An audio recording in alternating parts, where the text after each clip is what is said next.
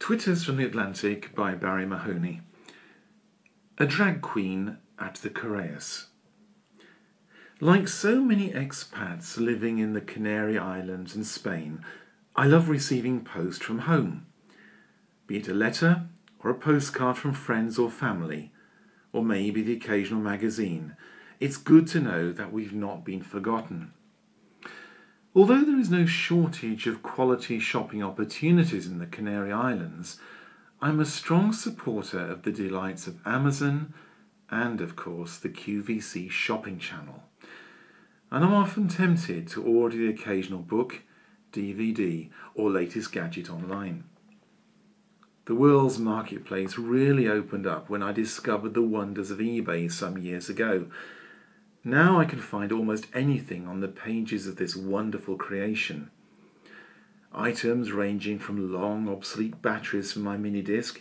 Yes, I adore iPods, but somehow they never seem to meet the genius of mini disc.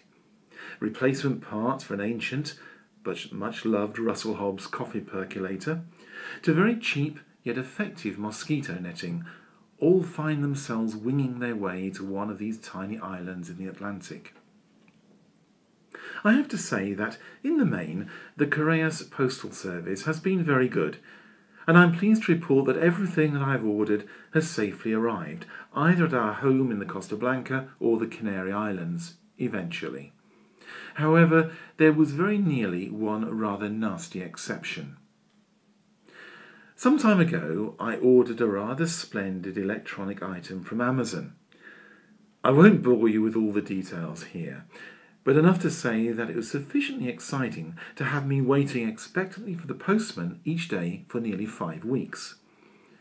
Amazon told me confidently that delivery would take somewhere between three and seven days.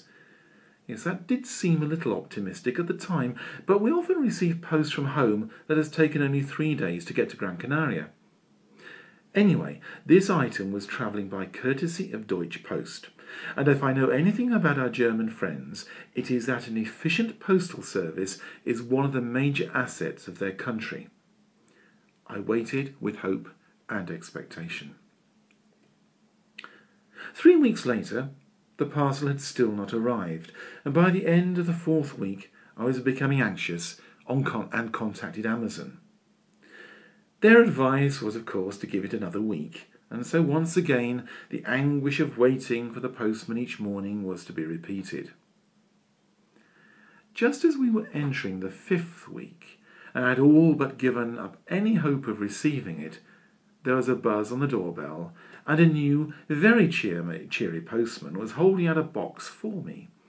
Yes, it was the long expected parcel from Amazon. You new to the job? I asked the young postman accusingly. Yes, it turned out that a new postman had just been appointed. I asked what happened to our previous postman, a very nice man who was also a part-time drag queen by night. Maybe he had deserted his postal deliveries permanently in favour of the bright lights and a wardrobe of new frocks, wigs, and feather boas. The young postman shook his head. No, it turned out that some three weeks earlier, a normally reliable postman and part-time drag queen had chopped off his middle finger during a rather nasty incident with a set of ancient curling tongs, a jar of cocktail cherries, and a machete. Now, please don't ask me for the gory details, but as a result, he could no longer continue with his postal round and had subsequently taken Correos three weeks to appoint his replacement. So that was the reason why my pass from Amazon was delayed.